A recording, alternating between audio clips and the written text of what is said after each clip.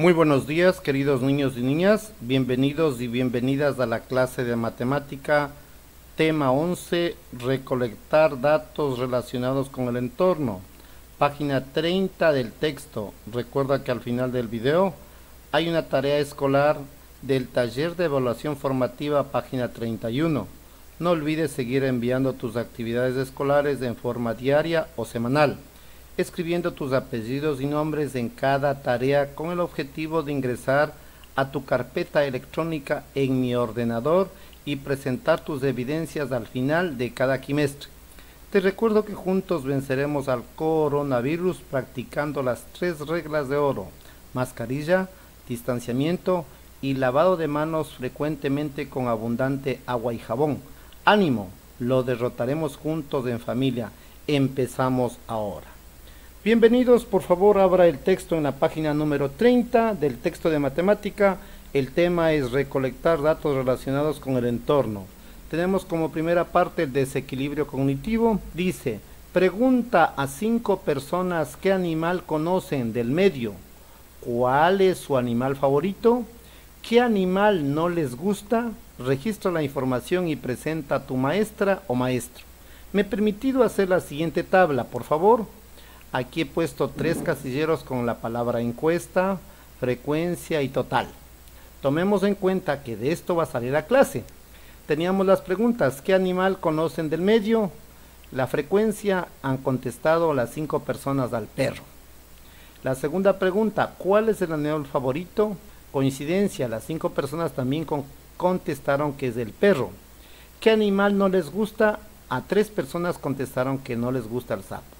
De aquí entonces diremos que, como antesala, ¿cuál es el animalito que más se repite entre estos tres? El perro. Entonces diremos que, adelantando como, con la pregunta, moda es el dato que más se repite. Avancemos, por favor. Vamos con el concepto de moda, por favor. Moda es el dato que más se repite. Tenemos un primer concepto. Vamos con un ejercicio de moda, por favor, para poder entendernos mejor. Hallar la moda de la distribución. Aquí tengo yo unos números. 2, 3, 3, 4, 4, 4, 5, 5. Les recuerdo que moda es el dato que más se repite. ¿Cuál de estos números se repite mayor veces? ¿Será el 3 o será el 4? Ustedes ya me ganaron, ¿verdad? Pues se representa la moda aritmética con la letra M. La respuesta es 4. Entonces la moda en este caso es el número 4. Ejercicio número 2. Tenemos una muestra de las 11 edades de los jugadores de un equipo de fútbol. 29, 31, 20, 19, 26, 25, 26, 30, 18, 23 y 26. Avancemos por favor. Vamos con eh, los preliminares para encontrar la moda. Hacemos un recuento del elemento que más se repite en el conjunto. Ustedes ya pudieron visualizar cuál es la edad que mayormente se repite entre las 11 edades de los jugadores. ¿Cuál será? A ver, ¿usted ya la encontró? Pues vamos adelante.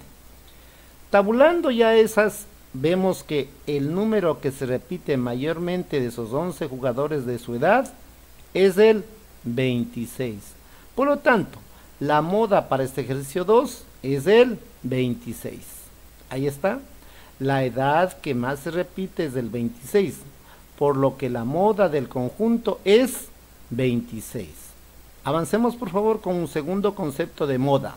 Moda es el valor que tiene mayor frecuencia absoluta. Se la representa con la letra M mayúscula puede haber más de una moda. Avancemos por favor con una encuesta que se hizo en la ciudad de Guayaquil. Abra el texto en la página 30. Dice, en la ciudad de Guayaquil se hizo una encuesta entre 100 parejas, preguntándoles por el número de hijos que tenían. Para recoger la información se diseñó una tabla de tres columnas que permiten saber el número de parejas de cierto número de hijos. Observa. Para contar mejor los datos que recogemos empleamos una tabla colocamos una rayita por cada dato. Las agrupamos de 5 en 5 para contarlas con facilidad. Observemos e interpretemos esta tabla. Tenemos aquí los casilleros, número de hijos e hijas, parejas encuestadas y total. Vamos a leer de derecha a izquierda. 10 parejas contestaron que tienen 0 hijos e hijas. 17 personas o parejas contestaron que tenían ¿cuántos hijos? Uno. 27 encuestados contestaron que tenían dos. 23 encuestados contestaron que tenían tres hijos e 16 encuestados contestaron que tenían cuatro hijos o hijas. 5 encuestados contestaron que tenían cinco hijos o hijas. Dos contestaron que tenían seis. Por lo tanto, para interpretar los resultados se formulan y responden a las siguientes preguntas. ¿Cuántos hijos o hijas tienen? Respuesta. Las 100 parejas de la encuesta tienen entre 0 y 6 hijas o hijos. Pregunta. ¿Cuántas parejas no tienen hijos? Respuesta. De las 100 parejas, 10 no tienen hijos. Pregunta. ¿Cuántos hijos tienen la mayoría de las parejas? Respuesta. El mayor número de parejas, 27, indica que tienen dos hijos e hijas. Pregunta. ¿Cuántas parejas encuestadas tienen seis hijos e hijas? Respuesta. De las 100 parejas, dos tienen seis hijos e hijas. Usted ya le encontró la moda, ¿verdad? Bueno, la moda es el 2 y está en 27 parejas. Aquí está la moda que viene el ser el 2 y está entre las 27 parejas que contestaron que tenían dos hijos. Recordándole que moda es el dato que más se repite. Vamos sobre un video sobre la moda aritmética, por favor.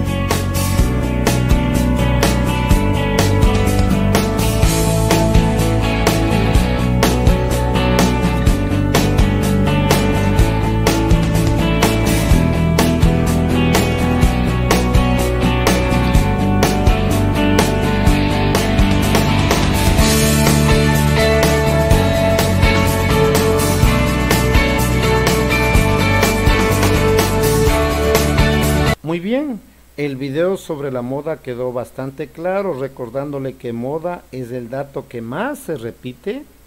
Moda también es el valor que tiene mayor frecuencia absoluta. Se la representa con la letra M mayúscula, pudiendo haber más de una moda. Finalicemos por favor con la tarea escolar. Por favor, abra el texto en la página 31. La orden dice la siguiente. Desarrolla las actividades planificadas en el taller de evaluación formativa del texto de matemática, página 31. Felicidades, muy buenos días.